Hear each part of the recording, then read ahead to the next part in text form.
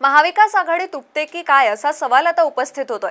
कारण विधान परिषदेच्या विरोधी पक्षनेते पदावरून काँग्रेसमध्ये चांगलीच नाराजी आहे. कारण आम्हाला न विचारता सेनेनं अंबादास दानवेंना परिषदेचा विरोधी पक्षनेता जाहीर केलं.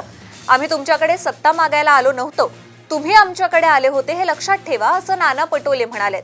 येणाऱ्या निवडणुकीमध्ये महाविकास आघाडी म्हणून लढावं की नाही याबद्दलचा निर्णय कार्यकर्ते घेतील असा सूचक इशारा सुद्धा पटोलेंनी दिलाय.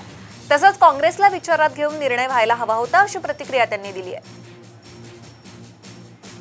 कोणाला कोणासोबत राहायचं कोणाला कोणासोबत जायचं कोणाला आम्हाला काही जबरदस्ती नाही.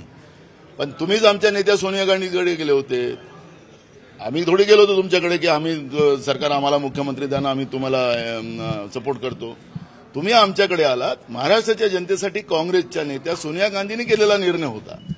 तुम्हाला नसेल मान्य तर तुम्ही तुमचं तुम- त्यांची वाट मोकळी आम्हाला काही त्याला आणि ज्या स्थानिक पातळीवर आमचे ने- काही कार्यकर्ते नेते जी काही चर्चा करतील त्या- त्याच्यावरचा निर्णय करू. पण आमची भूमिका स्पष्ट आहे की कार्यकर्त्यांनी हा निर्णय घ्यावा आणि जवळपास सगळीकडे काँग्रेस लढेल. नाराजचा प्रश्न नाही किंवा नाराज व्हायचे प्रश्न नाही कारण की विद्यमान परिस्थितीमध्ये महाविकास आघाडी म्हणून आम्ही एकत्र आहोत. एकोपा राहिला पाहिजे हीच आमची भावना आणि भूमिका आहे. परंतु निर्णय महत्त्वाचे होत असताना काँग्रेसलाही विश्वासात घेऊनच निर्णय व्हावेत अशी आमची किमान अपेक्षा